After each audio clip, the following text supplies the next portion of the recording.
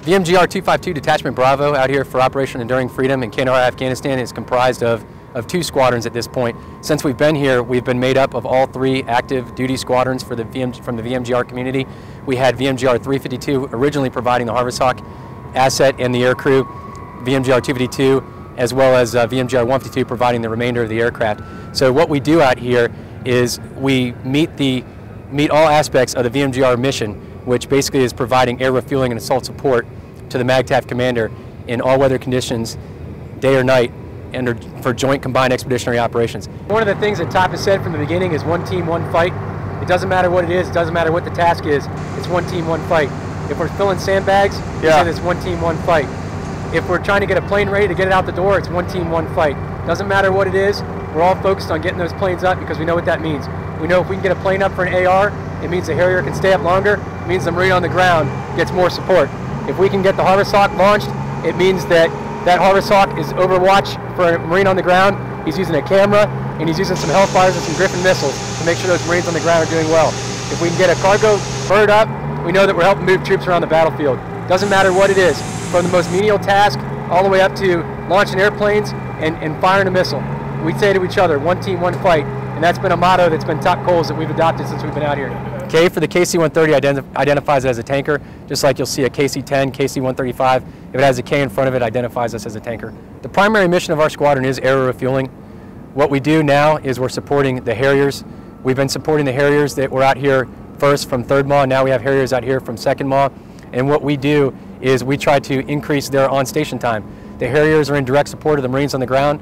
We're in direct support of those Harriers. So what we are trying to do is help the Harrier Squadron who's providing overhead watch for the Marines on the ground with the ability to stay airborne by basically coming up and attaching to our aircraft via a hose and uh, we pass fuel to them in order to keep them airborne. And that's what we do in the Marine Corps and Marine Aviation. And that's what sets us apart as a MAGTF from, from other units, other services. Battlefield illumination is one way that, that we integrate very well with the ground combat element as well as the aviation combat element.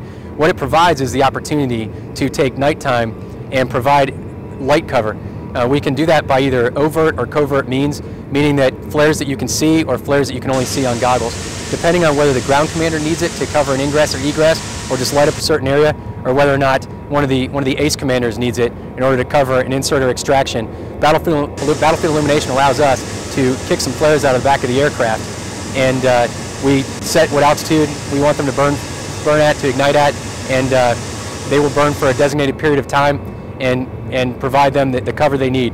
And what we can do is we plan to it, depending on how much light cover they need is, is what will determine how many flares we kick out, and depending on how long they need that light cover is also something that will determine how many flares we kick out. Since I've been here in, uh, in August, we took over August 1st, we've kicked out over 3,000 flares out of the back of this aircraft. Aerial delivery is the delivery, by aerial means obviously, of anything that uh, can range from small gear to personnel to vehicles. What we predominantly do out here is aerial delivery of supplies for some of our units that we need to be able to reach at FOBs. And uh, we, that is one of our, our missions as well, one of the missions that we train to, one of the mission essential tasks that we train to prior to coming out here. Close air support, what we call CAS, is a new capability to the KC-130 community. And if you had talked to Herc pilots or Herc aircrew five, ten, maybe even two years ago and told them that we were going to be doing CAS, they would have told you you were crazy. This platform is ideal for what it's equipped with and, and what it's tasked to do out here. Part of why it's ideal is because of the on-station time that this platform has. With the fuel that we can carry, with the number of missiles that we can carry, with the dedicated aircrew that we have operating this aircraft, there is no limit to this, to this Harvest Hawk. What we've done since we've been here is every crew that's come out here since last October when it was just a proof of concept until today has continued to make the Harvest Hawk platform better. They have added new capabilities to it. They've just come up with different uh, TTPs in order to, to use the Harvest Hawk platform better. There are techniques, tactics, and procedures in order to use the platform better. So the Marines on the ground, as well as our coalition partners, have grown very fond of the Harvest Hawk platform. They have become a by name request when they're checking in on station for close air support.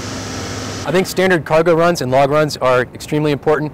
Uh, part of what it does is we help commanders get around theater, helping commanders see the battle space, helping commanders talk to their people, helping commanders reach their troops is another thing that, that happens.